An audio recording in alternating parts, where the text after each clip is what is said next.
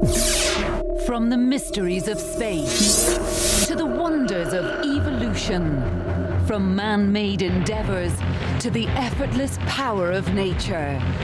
Science and technology are all around us, forging a path towards progress and knowledge. Let us explore the questions from the past and the answers from the future. The more we know, the more powerful we become. This is Explorations. This time on Explorations, we will be looking at some of the most expensive things in the world. When money is no object, how far can the barriers be pushed in the pursuit of excellence? We will take the most expensive round-the-world trip. This is very important to me, to do something that has never been done before, and something that's difficult. Go supersonic in thrust SSC. The aim was to set the ultimate land speed record, the one that nobody can ever repeat. Take you on the world's most expensive fishing trip. It's quite an exciting thing to be down at 3,000 feet. You're probably one of a handful of people that have ever seen this animal where it lives.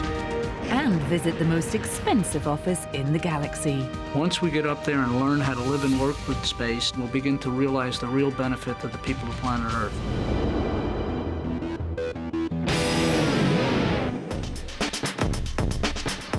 What is the most expensive round-the-world plane ticket? Well, in March 2005, Steve Fossett announced his intention to become the first man to circumnavigate the globe non-stop. I hope to make it with no stops in under 80 hours.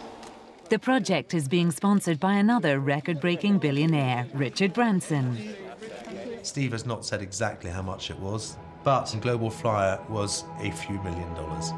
This is very important to me, to do something that has never been done before, and something that's difficult, uh, not only from the endurance standpoint, but also from uh, the technology that was required to build an airplane uh, to do this specific task. Global Flyer was designed by the world's leading experimental aircraft designer, Burt Rutan, whose successes also include the first privately funded spacecraft.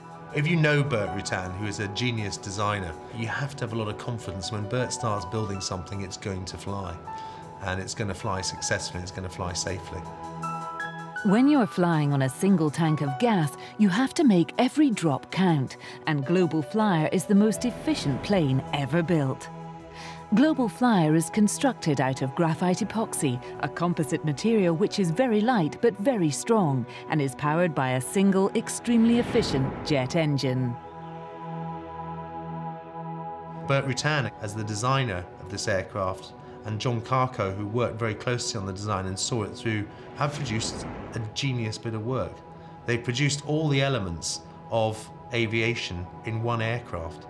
They produced a combination of a high altitude jet and a glider, and they've kept it very simple. The airplane's in good shape. We've had a few things that we've been working on for the past several weeks, so I look forward to having an airplane that is in uh, top quality uh, flying condition. Fossett will have to spend up to 80 hours in a cockpit just over two meters long, consuming only diet milkshakes and grabbing a few moments sleep at a time. It may be the most expensive round-the-world ticket, but it is also the least luxurious.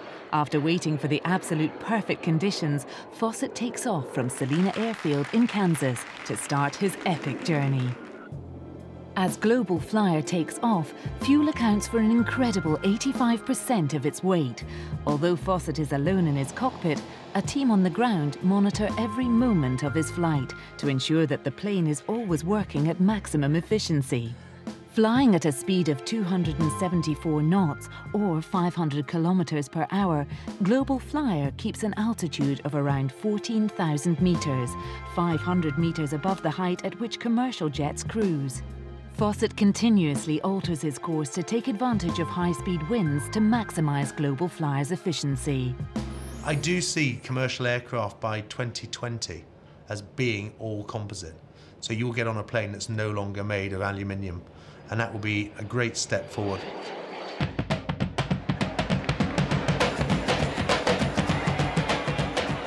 Thousands of supporters flew up there at Salina Airfield, Kansas to welcome Fossett home, including the main money man, Richard Branson.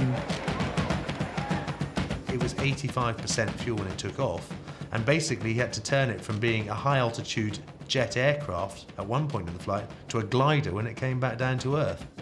67 hours and one minute after takeoff, Fossett arrives back at Salina Airfield in Kansas, having travelled approximately 37,000 kilometres and with another world record to his name.